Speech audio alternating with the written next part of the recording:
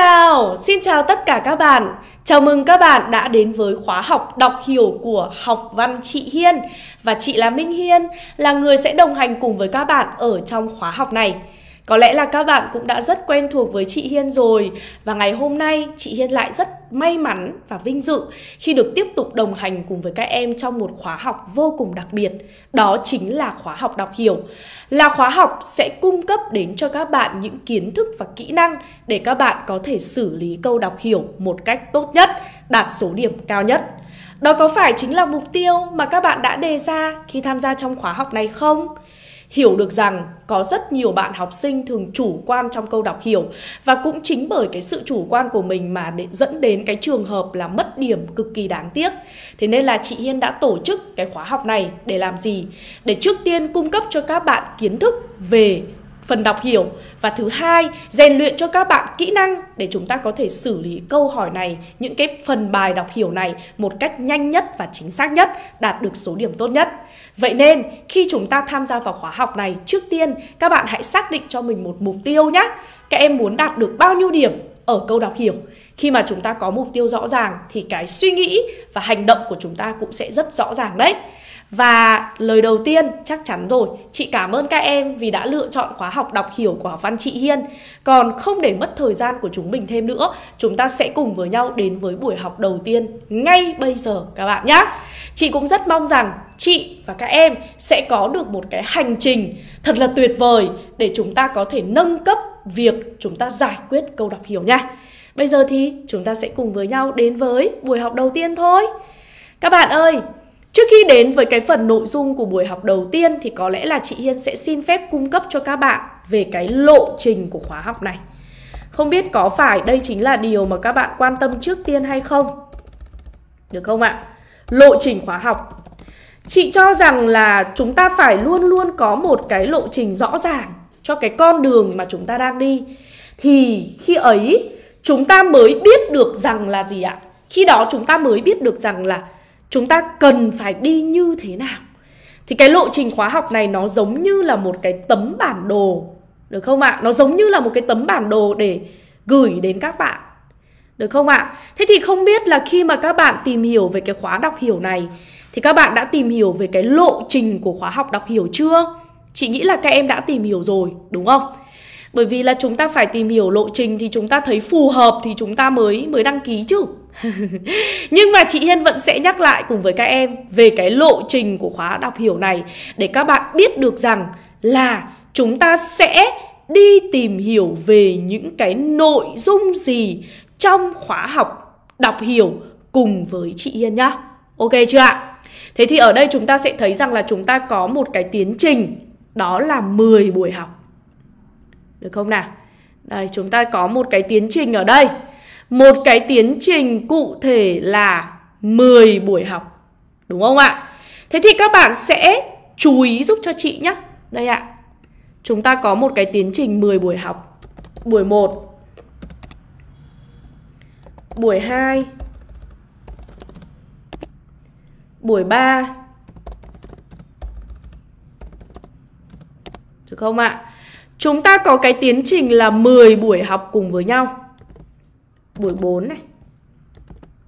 Buổi 5 Các bạn có thể ghi lại vào trang vở đầu tiên của mình nhé Và nhớ là hãy ghi bài. Khi mà các em học thì các bạn hãy nên chủ động ghi bài. Bởi vì khi mà các bạn ghi bài thì cũng đồng nghĩa với việc là các bạn sẽ nhớ được cái phần nội dung kiến thức đó lâu hơn. Được không ạ? Thế nên là chị nghĩ rằng là một trong những cái yêu cầu đầu tiên uh, chị đặt ra cho lớp mình khi mà các bạn tham gia trong cái khóa học này đó là các bạn nên chủ động ghi bài nhá. Các em nên chủ động ghi bài. Ok chưa ạ? Đây chúng ta có này 10 buổi. Ok chưa ạ? Thế thì trong 10 buổi này chúng mình sẽ làm gì? Hãy nhớ nha, lộ trình khóa học ở đây chị Hiên xây dựng là dựa trên những cái phần kiến thức mà chúng ta sẽ được học. Bên cạnh đó là những cái phần kỹ năng nữa.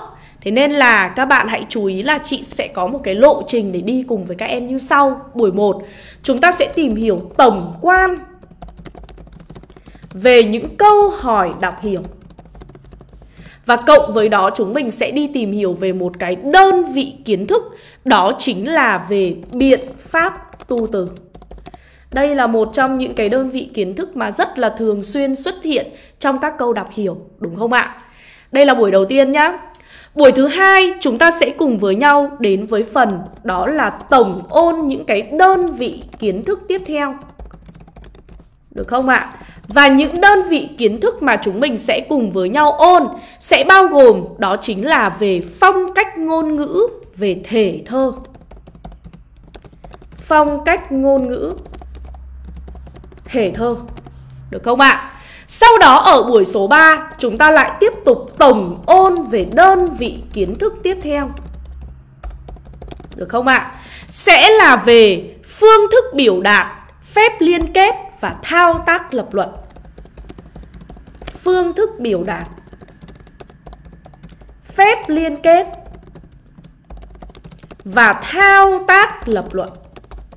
À các bạn ơi Thế thì các bạn nhìn vào đây các bạn có thể thấy cho chị Hiên một điều là Ở trong ba cái buổi này Là chúng ta đang cùng với nhau làm gì đây ạ? Chúng ta cùng đang cùng với nhau ôn lại những cái đơn vị kiến thức tiếng Việt Được không ạ? Đấy là mục tiêu nhá Mục tiêu của chúng ta là gì? Là ôn lại về cái lý thuyết tiếng Việt Đơn vị kiến thức tiếng Việt Được chưa nào?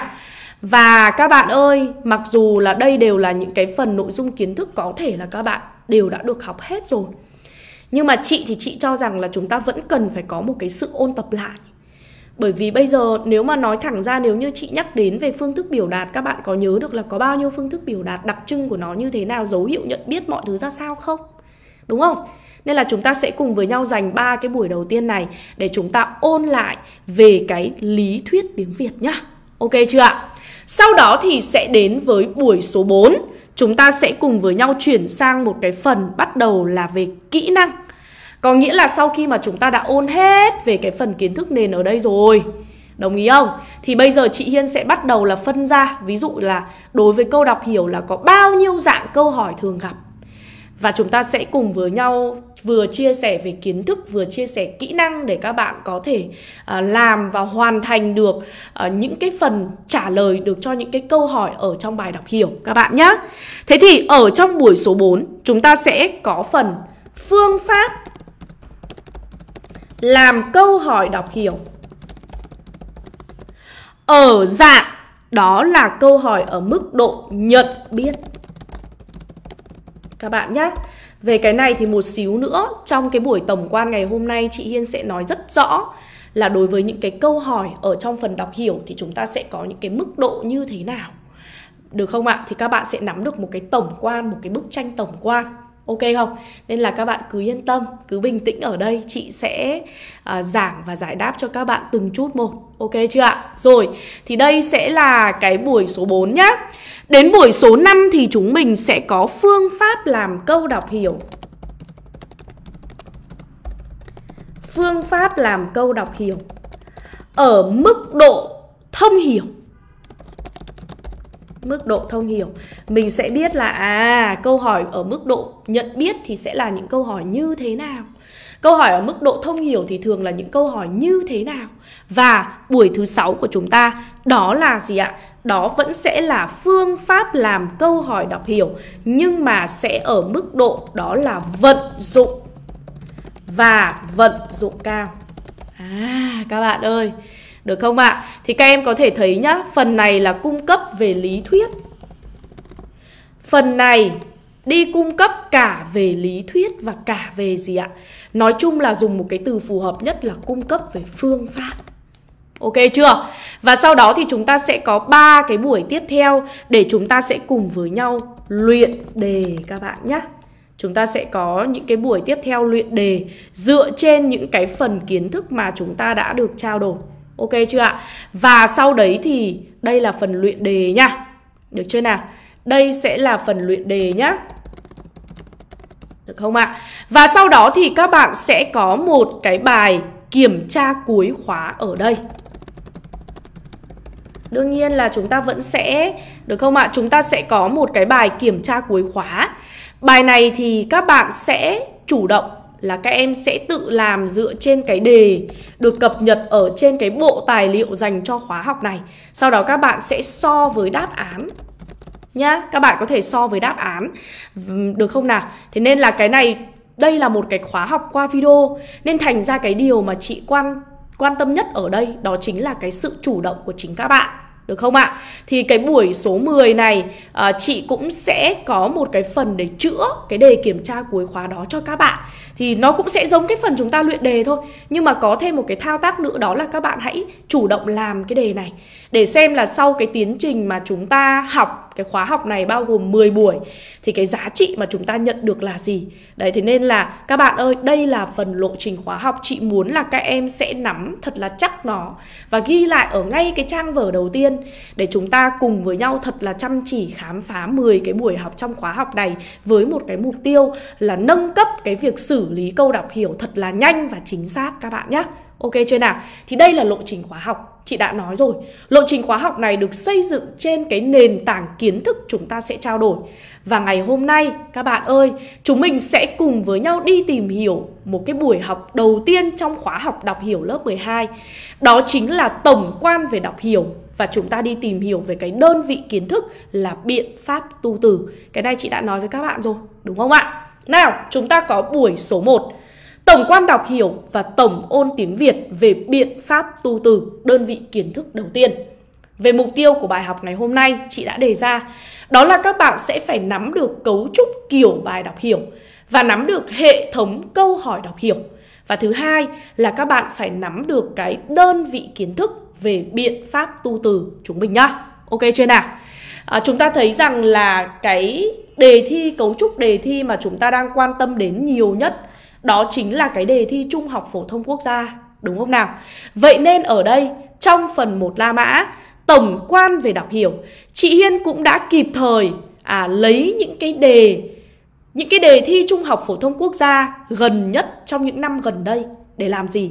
Để các bạn biết được là cái câu đọc hiểu trong đề thi Trung học Phổ thông Quốc gia là như thế nào Được không ạ? Thế thì bây giờ chúng mình sẽ cùng xem qua nhé Đây là cái đề thi năm 2022 này Được không ạ? Chúng ta có một cái đoạn trích Các bạn sẽ thấy này À, chiếm mấy điểm đây? Chiếm 3 điểm trong đề thi Trung học Phổ thông Quốc gia nhá 3 điểm có quý giá không? 0,25, 0,2 còn quý giá chứ nói gì đến tận tận 3 điểm Đúng không ạ? Phải không? Chứ nói gì đến đến tận 3 điểm hả các bạn? Phải không nào? Nên là thành ra chúng ta thấy ở đây là quá quý giá. Và nhất định là chúng ta phải phải quyết tâm để giành được cái số điểm này. Thì ở đây chúng ta sẽ thấy nhá Đề này sẽ là một đoạn trích. Ví dụ như ở đây là một cái đoạn trích uh, Trích từ cái tác phẩm Con đường của những vì sao của tác giả Nguyễn Trọng Tạo. Tuổi trẻ của tôi 18-20 trong và tinh khiết như nước suối đá, khỏe và mơn mởn như mầm lá, rộng và dài như mơ ước yêu thương, vươn lên và bền vững như đường, như con đường cắn vào đất tạc vào mặt đất. Tuổi trẻ như sao trời mát mắt. À, khi yên bình hạnh phúc ngước nhìn lên và bùng cháy như lửa thiêng liêng khi giặc giã đụng vào bờ cõi. Dẫu rụng xuống vẫn trói lên lần cuối gọi dậy những lớp người. Dẫu rụng xuống bầu trời không trống trải trong mắt người sao vẫn mọc khôn nguôi. Ở đây chúng ta thấy là gì nhỉ? Là một văn bản đúng không? Ở đây người ta cho là một văn bản một cái trích đoạn trong một văn bản phải không ạ? Và chúng ta thấy rằng là ở đây người ta sẽ yêu cầu các bạn là thực hiện các yêu cầu sau khi các bạn đọc cái văn bản đó. Thì ở đây các bạn sẽ thấy là chúng ta sẽ có 1, 2, 3 và 4 câu hỏi được đưa ra. Đúng không? 4 câu hỏi nhá. Tiếp tục, năm 2021 thì ờ, do ảnh hưởng của đại dịch Covid nên thành ra là kỳ thi Trung học phổ thông quốc gia được chia thành hai đợt. Thì chúng ta thấy cái đợt 1 này trong năm 2021 cũng là một trích đoạn, một cái văn bản Đúng không? Và cũng là bốn câu hỏi. Và tương tự đợt 2 cũng như thế. Phải không ạ? Cũng là một cái văn bản và sau đó cũng là bốn cái câu hỏi. Đây ạ, chúng ta sẽ kéo cái thời gian xuống một chút xíu nữa cho đến năm 2020. Thì các bạn cũng thấy rằng là chúng ta cũng thi làm hai đợt và các bạn thấy là gì ạ? Trong cái đợt đầu tiên này thì chúng ta cũng có một cái đề đó là một phần văn bản và tương ứng với đó là bốn cái câu hỏi câu 1, câu 2, câu 3 và câu 4. Đúng chưa nào? Thế nên là từ cái việc mà chị Hiên cho các bạn quan sát về cái cấu trúc của cái câu đọc hiểu ở đây thì chị tin chắc chắn rằng là các bạn cũng nhận ra được cái điểm tương đồng. Hay nói cách khác là chúng ta sẽ phát hiện được ra cái này. Đó chính là cái cấu trúc của câu đọc hiểu. Thế thì chúng mình sẽ đưa ra một vài những cái nhận xét nhé. Ok chưa ạ? Chúng ta sẽ đưa ra một vài những cái nhận xét nhé. Các bạn ơi, thật ra nếu như các bạn tìm hiểu ấy, thì các bạn sẽ thấy rằng là trong đề thi Trung học phổ thông quốc gia môn ngữ văn, bài đọc hiểu sẽ luôn gồm hai phần. Được không ạ? Sẽ luôn gồm hai phần các bạn ạ. Phần đầu tiên đó là ngữ liệu đọc hiểu. Và phần thứ hai là gì các bạn có biết không ạ?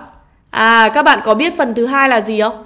Phần thứ nhất là ngữ liệu đọc hiểu và phần thứ hai chúng ta có đó chính là gì? Đó chính là các câu hỏi đọc hiểu.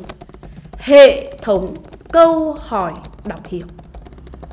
Đó, luôn luôn phải nhớ giúp chị là câu đọc hiểu bao giờ cũng sẽ có cái cấu trúc hai phần. Ngữ liệu đọc hiểu và hệ thống câu hỏi đọc hiểu. Được chưa nào? Nên là các bạn sẽ sẽ chú ý giúp cho chị nhé. Chúng ta có thể thấy là năm 2015 là cái thời điểm mà chúng ta bắt đầu uh, gọi là có vào năm 2015 và 2016 ấy thì với một cái thời lượng là 180 phút thì cái bài đọc hiểu có có gì ạ? Cái bài đọc hiểu thì có hai ngữ liệu đọc hiểu và thường là một ngữ liệu đọc hiểu thơ, một ngữ liệu văn xuôi và mỗi ngữ liệu thì sẽ bao gồm 4 câu hỏi. Tức là sao? Tức là chúng ta sẽ phải đi trả lời tổng cộng là 8 câu hỏi. Đấy là đối với cái dạng đề từ năm 2015 và 2016 nhá. Thế nhưng mà từ khi cái kỳ thi Trung học phổ thông quốc gia năm 2017 á đến bây giờ thì các bạn thấy rằng là cái cấu trúc về cái số lượng câu hỏi và cái phần văn bản cái ngữ liệu đọc hiểu cung cấp nó đã thay đổi rồi thì đến bây giờ cái dạng mà chúng ta thường gặp khi mà cái thời gian dành cho bài thi môn ngữ văn được rút xuống là 120 phút thì các bạn thấy rằng là bài đọc hiểu bây giờ chỉ còn có gì ạ? Chỉ còn có một ngữ liệu đọc hiểu thôi. Và đi song song với đó, kèm theo đó là bốn cái câu hỏi đọc hiểu. Đấy thì các bạn sẽ chú ý giúp cho chị nhá. Thế là bây giờ chúng ta có thể thấy là hiện tại về cái ngữ liệu đọc hiểu chúng ta quan sát ở những cái đề trên thì chúng ta thấy rằng là có một văn bản, một ngữ liệu. Đúng không? Và cái hệ thống câu hỏi này thì sẽ bao gồm có 4 câu hỏi thôi ạ. Và các bạn cũng thấy được rằng là cái điểm số phổ điểm hiện tại là 3 điểm trên thang 10. Đúng không? 3 trên 10. Thì đây là những cái đầu tiên mà chúng ta nhìn thấy Ok chưa? Đây là đầu tiên là những cái đầu tiên mà chúng ta nhìn thấy. Bây giờ chúng mình sẽ cùng đi sâu hơn nhé để tìm hiểu về hai cái vấn đề mà chúng ta đang cực kỳ quan tâm ở đây Đó là ngữ liệu đọc hiểu và hệ thống câu hỏi đọc hiểu Chị xin phép là chúng ta sẽ có một cái phần bảng như sau Các em ơi, đây là những cái kiến thức mặc dù là lý thuyết nhưng nó cực kỳ quan trọng để chúng ta hiểu rõ được về cái cái cái gì ạ? Cái câu hỏi, những cái câu hỏi mà chúng ta đang làm Cái phần bài tập mà chúng ta đang cần phải giải quyết Đúng không ạ? Đây các bạn ơi, đây chúng ta sẽ có nhá. Được không nào? Chúng ta sẽ có ở đây trước tiên này là về ngữ liệu đọc hiểu. Thì các bạn cũng đã nhìn thấy ở phía bên trên rồi, phải không nào? Các bạn cũng đã nhìn thấy ở phía bên trên rồi thì các bạn cũng đã thấy là cái ngữ liệu đọc hiểu này có phải là một cái ngữ liệu ở trong sách giáo khoa không ạ? À không nha. Đây là một cái ngữ liệu như thế nào nhỉ? Đây là một cái ngữ liệu à, một cái văn bản ngoài chương trình sách giáo khoa một văn bản ngoài chương trình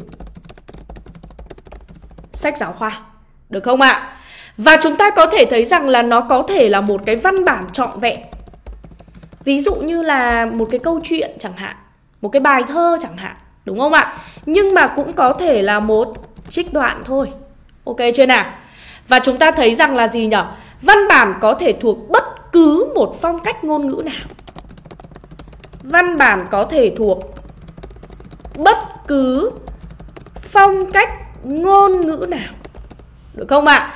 Có thể là từ báo chí, chính luận, đúng không? Báo chí, chính luận, nghệ thuật, khoa học, sinh hoạt cho đến hành chính công vụ vân vân Đúng không ạ? Và có thể sử dụng bất kỳ một phương thức biểu đạt nào sử dụng bất kỳ một phương thức biểu đạt nào có thể là tự sự miêu tả biểu cảm Đúng không? Thuyết minh, nghị luận, vân vân. Đúng chưa nào? Các bạn hãy chú ý nhá, không có bất cứ một cái quy định nào cho việc về phong cách ngôn ngữ hay là về gì ạ? Hay là về phương thức biểu đạt của một cái văn bản đâu. Thì các bạn sẽ chú ý giúp cho chị là như thế nhá. Thì ở đây chúng ta sẽ có này, đây là những cái chú ý đầu tiên. Được không nào? Và các bạn có thể thấy là nếu như mà nhìn đặc trưng ấy thì chúng ta thấy rằng là văn bản có thể là một đoạn văn xuôi. Trên dưới 20 dòng. Đúng không ạ? Hoặc là một đoạn thơ. Trên dưới 15 câu. Phải không ạ? Hãy nhớ nha, đây là chị đang khái quát dựa trên những cái đặc điểm chung nhất thôi. Còn lại đương nhiên là chúng ta sẽ sẽ cá nhân nó ra cá nhân hóa. Chúng ta sẽ cá nhân từng cái bài đọc hiểu mà chúng ta tiếp cận. Ở đây chị đang nói là gì? Là chúng ta đang tìm ra những cái điều chung nhất những cái điểm đặc trưng nhất. Ok chưa ạ? Thế thì chúng ta thấy rằng là với những cái đặc điểm mà được đề cập đến ở phía trên này, thì sao? Thì đây sẽ là kiểu bài thực sự rất là hữu ích cho các bạn để giúp các bạn sẽ làm quen với mọi cái thể loại văn bản cùng với hệ thống các cái câu hỏi, thì các bạn sẽ được cung cấp và rèn luyện thành thạo những cái kỹ năng về đọc hiểu trong nhà trường và sử dụng những cái kỹ năng ấy giống như là một cái công cụ phương tiện để sau này các bạn có thể tiếp cận và khám phá, hiểu về các cái thể loại văn bản phong phú trong cuộc sống. Được không ạ? Có giá trị không? Có ý nghĩa không? Đấy các bạn ơi, không phải là chúng ta học đọc hiểu chỉ dừng lại ở việc là chúng ta cứ viết viết viết. Chúng ta làm làm làm. Mà ở đây cái quan trọng nhất là tôi sẽ hình thành, tôi sẽ có được cho chính bản thân của tôi những cái công cụ và phương tiện để sau này Tôi có thể tiếp cận, khám phá và tìm hiểu tất cả các kiểu loại văn bản trong cuộc sống. Bởi vì trong cuộc sống thì cái việc các bạn tiếp nhận văn bản nó là một cái việc các bạn phải làm hàng ngày. Đúng không ạ? Thế nên là chị thì chị nghĩ rằng là nó thực sự rất hữu ích đối với các em và các bạn hiểu được bản chất hiểu được vai trò của nó như vậy thì chị cũng mong là các bạn sẽ dành nhiều hơn cái thời gian để chúng ta cùng khám phá và tìm hiểu về cái câu đọc hiểu này nhá. Ok chưa ạ? Làm thật là tốt. Được chưa nào? Còn lại ở đây thì chúng ta sẽ thấy nói về hệ thống câu hỏi đọc hiểu. À, như chị đã nói đấy. Chúng ta sẽ phân bố cái câu hỏi đọc hiểu này theo các cái mức độ nhận thức, được không ạ? Từ thấp đến cao. Thường được phân bố theo các mức độ nhận thức từ đến cao Được không ạ? Theo các mức độ nhận thức từ thấp đến cao Ok chưa nào? À, chúng ta sẽ bao gồm có các cái mức độ nhận thức đó là nhận biết Là thông hiểu Là vận dụng Và là vận dụng cao Các bạn chú ý giúp cho chị nhá Được không nào? À, chúng ta thấy rằng là từ năm 2017 ạ, thì không còn cái dạng đó là phải viết một cái đoạn văn ngắn từ 5 đến 7 7 câu, 5 đến 7 dòng giống như là cái giai đoạn trước là năm 2015 2016 nữa rồi, đúng không ạ? Nhưng mà cái vấn đề là chị cho rằng là mọi cái câu hỏi đọc hiểu thì chúng ta cũng sẽ cố gắng là trao đổi hết với nhau. Ừ, tất cả những cái gì chị có chị sẽ đem ra để trao cho các bạn và chị mong rằng các bạn sẽ áp dụng được nó thật là tốt và hiệu quả vào trong những cái phần bài viết của mình nhá. Ok chưa nào? Vào trong những cái phần bài làm của mình thì chính xác hơn. Ok chưa nào? Được không ạ? Thì đây là về cái hệ thống câu hỏi đọc hiểu. Chúng ta có thể nhìn thấy như vậy. Bây giờ thì à, chị sẽ gọi là gì ạ? Chị sẽ cụ thể hóa hơn cho các bạn một chút xíu về những cái dạng câu hỏi này. Được không ạ? Các bạn thấy rằng là câu hỏi đọc hiểu, hệ thống câu hỏi đọc hiểu thì được phân bố theo các mức độ nhận thức từ thấp đến cao như chị đã để ra ở đây ở thời điểm hiện tại. Thì các bạn thấy rằng là nếu như mà là câu hỏi nhận biết nhé thì chúng ta thấy rằng là cái đối với cái câu hỏi nhận biết thì cái tín hiệu nhận biết sẽ là câu hỏi yêu cầu xác định một đặc điểm của hình thức văn bản. Được không ạ? Đây sẽ có nhá. Đợi chị một chút xíu để chị làm cho nó khoa học hơn. Người ta sẽ yêu cầu các bạn là xác định đặc điểm được không ạ? Của hình thức văn bản Nó sẽ bao gồm những cái dạng kiểu kiểu như là về thể thơ này Đó Về phong cách ngôn ngữ này Được không? À, về gì ạ? Phương thức biểu đạt này Được không ạ? Đó Về uh, biện pháp tu từ này Được không? Về phép liên kết này Được không ạ? Hay là cũng sẽ có thể là một cái dạng câu hỏi khác nữa là một cái dạng câu hỏi mà người ta sẽ yêu cầu tìm những cái chi tiết thuộc về nội dung văn bản. Tìm chi tiết thuộc về nội dung văn bản. Thì các bạn ơi, ngày hôm nay á, chúng mình chưa có học về phương pháp Nên thành ra là chị Hiên sẽ chưa có nói sâu về cái này Khi nào chúng ta học đến những cái buổi phương pháp về cái câu hỏi nhận biết Thì chị Hiên sẽ nói sâu hơn nhá Thì ở đây các bạn định hình ra được là À, đối với nhận biết thì chúng ta sẽ thường gặp những cái câu hỏi kiểu kiểu như vậy Ok chưa nào? Thế còn đối với thông hiểu thì sao đây? Đối với câu hỏi thông hiểu thì cái tín hiệu nhận biết cho các bạn đó chính là người ta thường yêu cầu giải thích cách hiểu nội dung được không ạ? Yêu cầu giải thích cách hiểu được không ạ? Cách hiểu nội dung của gì đây? Của một khái niệm. Một khái niệm, một nhận định được không ạ? Một khái niệm, một nhận định, một câu văn, một câu thơ. Được không ạ? Trong văn bản các bạn nhé. Trong văn bản. Được chưa nào? Uhm, cụ thể như thế nào thì chúng mình sẽ tìm hiểu ở những buổi phương pháp. Ok chưa? Rồi tiếp tục đối với cái câu hỏi vận dụng thì các bạn sẽ thấy là thường là người ta sẽ yêu cầu các bạn xác định cái gì đây? Xác định và phân tích cái giá trị của, ví dụ như biện pháp tu từ, hay là sự kết hợp của các phương thức biểu đạt. Có nghĩa là như này nhá, các bạn chú ý này, cái câu hỏi nhận biết là chúng ta chỉ nhìn ra cái biện pháp tu từ đấy thôi. Nhưng nếu như trong cái yêu cầu mà người ta muốn chúng mình là phải nêu ra cả tác dụng ấy thì ở đây nó lại thuộc về cái câu hỏi vận dụng. Các bạn hiểu ý chị không ạ? Nhá. Thì chúng ta thấy rằng là đây là một cái dạng câu hỏi mà chúng ta cũng khá là thường gặp, đúng không nào? Còn lại đối với vận dụng cao thì sao? Vận dụng cao thì chúng ta sẽ thường có những cái câu hỏi hỏi về quan điểm của các bạn. Đồng ý hay không đồng ý, đúng không? Hay là cái cảm nhận, tức là nói chung là nó sẽ thuộc về cái câu hỏi quan điểm, được không ạ? Là quan điểm của cá nhân trước một nhận định. Một thông điệp. Được không ạ? Một vấn đề được đặt ra trong văn bản. Đó, thì các bạn sẽ chú ý giúp cho chị nhá. Đây là cái hệ thống câu hỏi đọc hiểu và chị đã giúp cho các bạn có được một cái nhìn rất là tổng quan về hệ thống câu hỏi đọc hiểu này rồi đúng không ạ? Rất là khoa học luôn.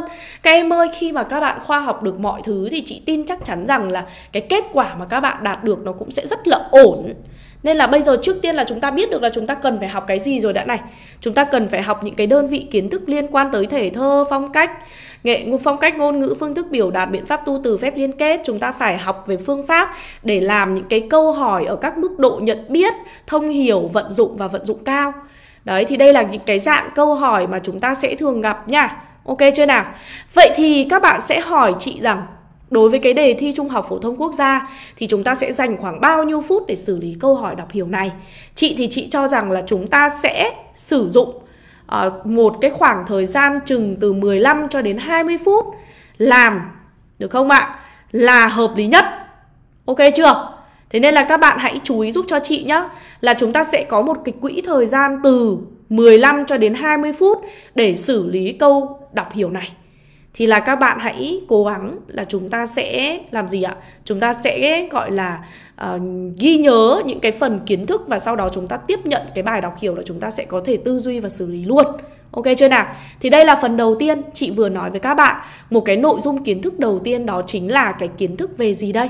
Đó là cái kiến thức về tổng quan đọc hiểu Để các bạn hiểu được cấu trúc kiểu bài đọc hiểu Và hệ thống những cái câu hỏi đọc hiểu thường như thế nào Chị sẽ đưa ra cho các bạn một số những lời khuyên Đương nhiên rồi Được không ạ? Sau khi mà chúng ta nhìn vào tổng quan, Chúng ta sẽ đưa ra một vài cái lời khuyên nhé Được không ạ?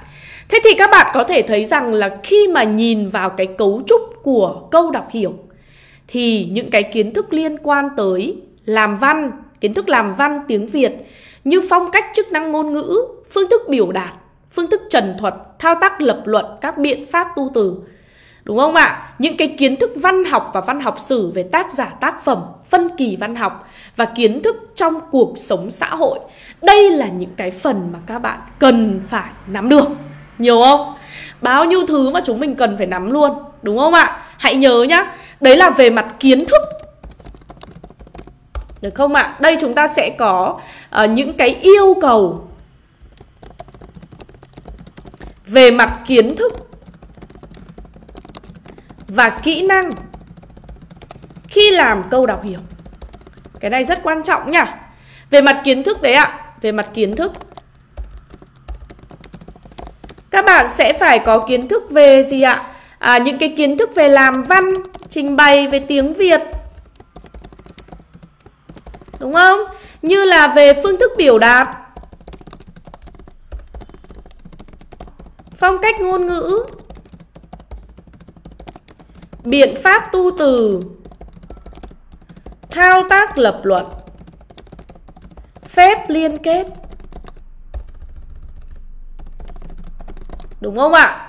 À vân vân phương thức trần thuật vân vân. Đúng không? Bên cạnh đó là những cái kiến thức văn học. Những kiến thức văn học và văn học sử. Tại vì sao những cái kiến thức về tác giả tác phẩm được không ạ? Về gì? À về những cái kiến thức liên quan tới tác giả tác phẩm thể loại. Đúng không ạ? à, À, thể loại. Phân kỳ lịch sử. Văn học. Ok chưa ạ? Và bên cạnh đó còn là những cái kiến thức cuộc sống xã hội nữa. Các bạn ơi, trang bị cho mình những cái này để làm gì? Các bạn thấy rằng là cái việc tiếp nhận một cái phần văn bản ấy Nó không phải là câu chuyện đơn giản ngay lập tức là chúng ta có thể hiểu được nó ngay. Mà chúng ta thực sự cần một cái sự tích lũy về kiến thức Các bạn thấy rằng là ừ, những cái văn bản mà xuất hiện trong những cái đề thi á Đó có thể là những cái văn bản rút ra từ một cái tác phẩm nào đó Nếu như chúng mình có kiến thức về tác phẩm đó thì sao? Ồ, chúng ta sẽ rất tự tin, đúng không? Mặc dù nó không nằm trong sách giáo khoa nhưng mà bằng cái kiến thức chúng ta trau dồi và tích lũy trong cái tiến trình mà chúng mình học thì nó thực sự là một cái điều kiện rất là tuyệt vời để các bạn có thể xử lý được câu đọc hiểu nếu như các bạn đã hiểu về cái văn bản đó trước đó rồi, đúng không? Bên cạnh đấy thì nó cũng sẽ có thể là những cái văn bản rút ra từ một cái trang báo nào đó về đời sống xã hội. Thì nếu như các bạn có kiến thức về cuộc sống xã hội thì sao? Các bạn cũng sẽ có thể sử dụng những cái phần kiến thức đó để làm gì ạ? Để chúng ta có thể làm gì? Để chúng ta có thể đưa vào trong cái phần bài làm của mình một cách chính xác và hiệu quả nhất. Nên là các bạn ơi, phải trang bị về kiến thức nhá. Thế còn về kỹ năng thì sao ạ? Kỹ năng đọc hiểu văn bản thì sẽ bao gồm những cái phần chính. Đó là thứ nhất, à, kỹ năng đọc hiểu. Thứ hai là tư duy logic. Tư duy logic, được không ạ? Kỹ năng phân loại. Kỹ năng phân loại. Và gì nữa ạ? Và kỹ năng trả lời phù hợp với yêu cầu của mỗi loại câu hỏi kỹ năng trả lời trình bày nó phải phù hợp với cái gì ạ nó phải phù hợp với yêu cầu của mỗi loại câu hỏi đó các bạn sẽ chú ý giúp cho chị nhá thế thì chúng ta thấy rằng là tại vì sao mà chúng ta lại cần phải có những cái kỹ năng này Bây giờ mà các bạn không đọc cái văn bản thì làm sao mà các bạn xử lý được cái văn bản đấy, đúng không? chúng ta phải xác định được chính xác loại câu hỏi đó là mức độ nào. Nhận biết, thông hiểu, vận dụng hay vận dụng cao. Đúng không? Sau đấy thì để chúng ta tránh trả lời thừa và thiếu. Sau đó thì tùy theo câu hỏi mà có thể viết liền đoạn nếu chỉ có một. Được không ạ? Nếu chỉ có một ý, hoặc là gạch đầu dòng, nếu như chúng ta có từ hai ý trở lên hai ý, chị xin lỗi, hai ý trở lên, thì các bạn sẽ chú ý giúp cho chị là cái việc gạch đầu dòng hay là không gạch đầu dòng theo theo cái hình thức trình bày nó không quá quan trọng. Nhưng mà nếu để khoa học thì chúng ta cũng có thể gạch đầu dòng nếu như cái câu trả lời đó của chúng ta có nhiều ý. Còn nếu như chỉ có một ý thì chúng ta có thể viết thống nhất uh, theo một cái một liền đoạn luôn. Ok chưa nào? Cái này là sẽ tùy thuộc vào cái phong cách trình bày của từng bạn nhé các em đừng bị nặng nề quá rằng là chúng ta phải gạch đầu dòng hay là chúng ta phải viết thành đoạn. Hãy nhớ giúp chị là như thế tùy theo cái phong cách trình bày của từng bạn, được không nào? Và bên cạnh đấy thì chúng ta thấy rằng là, ví dụ, khi mà chúng ta đã xác định được những cái yếu tố đó, thì chúng ta thấy rằng đối với câu nhận biết, thì chỉ cần xác định đúng đặc điểm hình thức của văn bản, chi tiết nội dung trong văn bản thôi, không cần phải phân tích diễn giải, đúng không ạ? Đối với câu thông hiểu thì phải giải thích gì ạ? Bản thân cái khái niệm nhận định là như thế nào? Còn đối với câu vận dụng, đặc biệt là vận dụng cao thì chúng ta phải bày tỏ được, lưu ý đến thể hiện cảm xúc, suy nghĩ và quan điểm cá nhân các em. Đó, vấn đề là như thế. Thì đấy là một số những cái chú ý tiếp theo dành cho các bạn khi mà các bạn bắt đầu tìm hiểu về câu đọc hiểu nhá.